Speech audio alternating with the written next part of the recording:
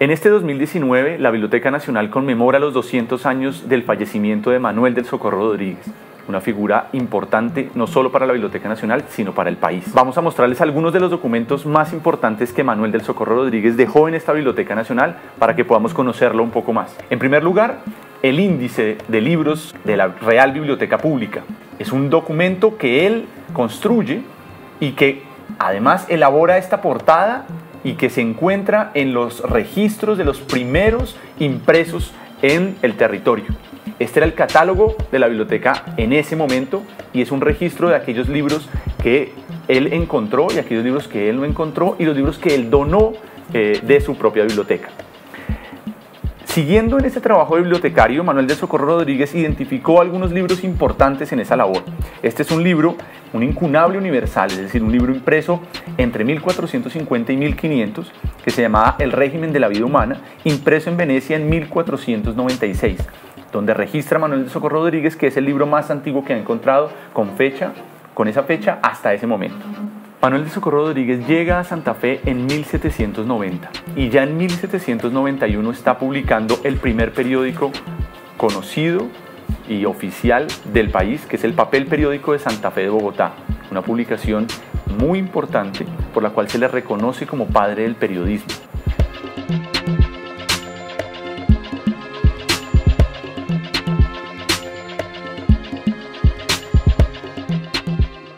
No va a ser el único título asociado a la prensa para Manuel del Socorro Rodríguez.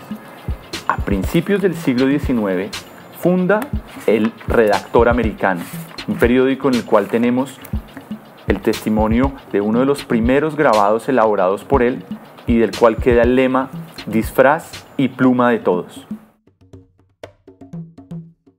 Manuel Socorro dejó una gran obra manuscrita que aún puede ser consultada en la Biblioteca Nacional.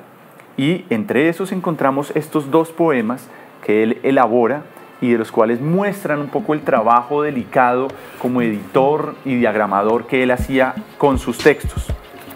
Eh, prueba de ello es uno de estos manuscritos que él elaboró en 1802 sobre el monasterio de la enseñanza, el cual se puede ver el trabajo eh, dedicado de, y, la letra tan elegante que él podía llegar a tener. Su rúbrica es otro de los, de, los, de los sellos más característicos de su obra y por la cual podemos reconocer muchos de los trabajos que él dejó aquí en la Biblioteca Nacional. En junio de 1819 fallece Manuel del Socorro Rodríguez siendo director de la biblioteca. Actualmente en la dirección de la Biblioteca Nacional se conserva una cruz de madera que lo acompañó en su lecho de muerte.